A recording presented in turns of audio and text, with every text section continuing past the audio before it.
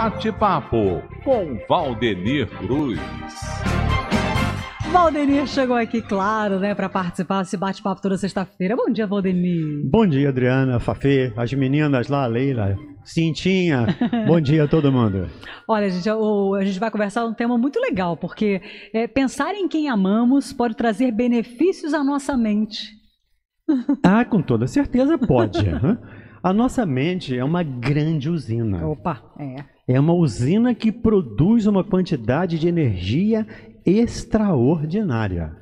Nós nem imaginamos do que somos capazes. Pois é, o ser humano é limitado em É. relação a isso. A gente acha Pois que é. usa só um pouquinho, né? Usa é. só um pouquinho da mente. Felizmente, felizmente, eu digo, a gente não pode usar toda a nossa capacidade mental ainda, porque faríamos besteiras. Opa, já, faz- já fazemos já, sem faze- usar. já fazemos. Então, faríamos grandes besteiras se pudéssemos utilizar É toda a nossa capacidade mental. Então, não podemos, ainda não nos é permitido Uhum.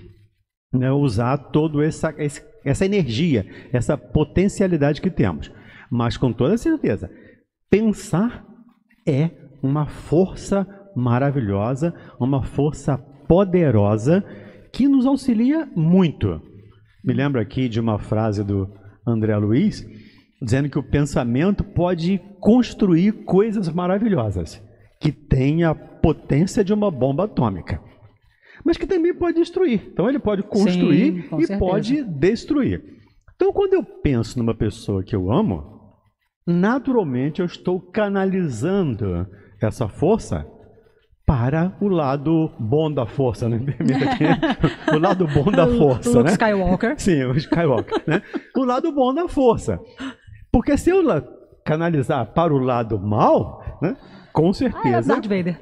Exatamente. Aí eu viro o Darth Vader, que não é o caso. Então, quando eu penso num ser, no ser amado, seja um no sentido amor, homem, mulher, pai, filho, mãe, enfim, um amor que seja realmente um amor, um amor afetivo, um amor fraternal, isso me traz paz. É porque já vem um sentimento, né? Exatamente. Aí você pensa É. e você já sente aquele, aquele calor, vamos dizer É. assim, né? Então já va- vai por corpo inteiro esse, né? Essa Sim, energia é- vai pro é- corpo inteiro. E é um calor que. Permita aqui a redundância, tá? É um, é um calor que nos aquece, né? É aquece verdade. o coração, né? Ele aumenta a minha temperatura, ele me faz bem, me traz bem-estar. Daí a necessidade de estarmos pensando sempre positivamente. Uhum. Eu falo Eu- tanto aqui. Pois é, eu sei que é difícil no meio de tantas coisas ruins que vemos. Mas, gente, as coisas ruins também podem ter uma utilidade. Às vezes a gente é- Minimamente um ensinamento. Não, e às vezes a gente acha assim, quantas vezes, né, eu sempre falo para os ouvintes, vamos, lembra quantas vezes você passou por uma situação que você, nossa, que coisa horrível. E aí passou um tempinho, você olhou para trás e falou assim, caramba, como foi bom que aquilo aconteceu. É. Então, naquele momento que aconteceu, você achou ruim, mas depois você viu que foi ótimo. Então, É. né? Dentro do livro dos Espíritos, que é um livro básico da, da doutrina espírita, há, lá na terceira parte do- desse livro, Kardec chama lá das leis divinas, das leis morais. Uma das leis é a chamada lei de destruição. E os Espíritos dizem lá: onde vocês veem destruição, nós vemos reconstrução. É uma questão de, de- de percepção, uma questão de ângulo. Então, eu preciso, né, como você lembra aqui todo dia, nós precisamos estar pensando positivamente. Nós precisamos ter otimismo, precisamos ser otimistas. Eu não tenho ainda meio copo, né? Eu só- não só tenho meio copo, eu ainda tenho meio Opa, copo. é. E tem o né? copo ainda, E tem a água e tem o copo. Tem o copo. Então, é, esse tipo de pensamento nos ajuda. E é muito importante porque ele também baixa nosso estresse. Uhum. Porque nós hoje, nós seres humanos, né, não dá para praticamente excluir ninguém, É. mas nós seres humanos vivemos numa num estresse muito desgastante. É um estresse muito constante e um estresse terrível. E precisamos baixar isso. Precisamos diminuir esse nível de estresse, porque isso traz consequências físicos É. no corpo, traz consequências espirituais, traz consequências morais, traz uma série de consequências.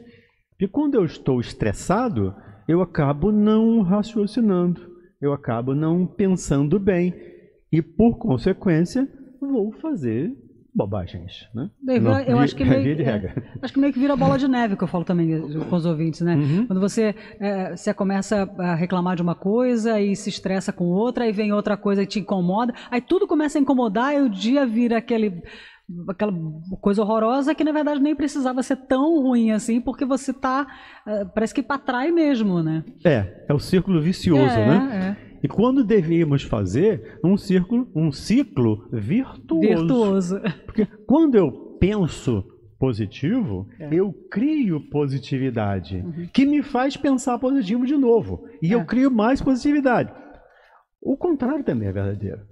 Quando eu penso negatividade, eu crio coisas ruins. Me lembro de uma- um, um caso até de, de consultório que eu coloquei lá no, no- no livro que eu escrevi. Eu coloquei um capítulo com o título Depois da bonança vem a tempestade. Porque a pessoa era tão otimista, tão negativa, que ela dizia: Eu não posso estar feliz. Tem muita gente assim. Sim, eu não posso estar alegre. Porque depois da alegria vem a tristeza, vem o choro, vem a dor. Então deixa eu sofrer logo de uma vez.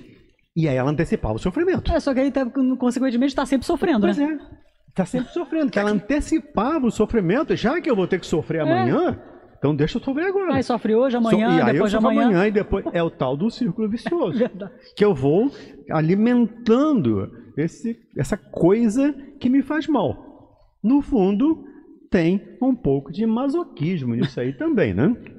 É claro que a gente não pode descartar essa hipótese. Mas muitas pessoas não se julgam merecedoras É, de serem felizes. Eu não posso ser feliz. É claro que isso é um processo inconsciente. Né? Ninguém conscientemente vai dizer, não, eu quero ser infeliz, eu quero sentir dor. Mas as pessoas se têm um processo tão grande de culpa que elas acabam se impedindo de serem felizes. Isso é um grande, um grande problema. É, eu estava pensando, a gente fez a, a referência ao filme né, de Luke Skywalker e o Darth Vader, né, que é a- a- o pensamento positivo, o pensamento negativo. A gente tem que lembrar o seguinte: vou- eu puxei do filme agora. O Darth Vader era do bem. Sim. Ele Ah. escolheu ir para o lado negro. Uhum. Então, quando eu falo, eu falei para os ouvintes outro dia, essa semana ainda, fazer o exercício de cada pensamento ruim que vier, tentar trocar por uma lembrança boa, é, é escolha. né?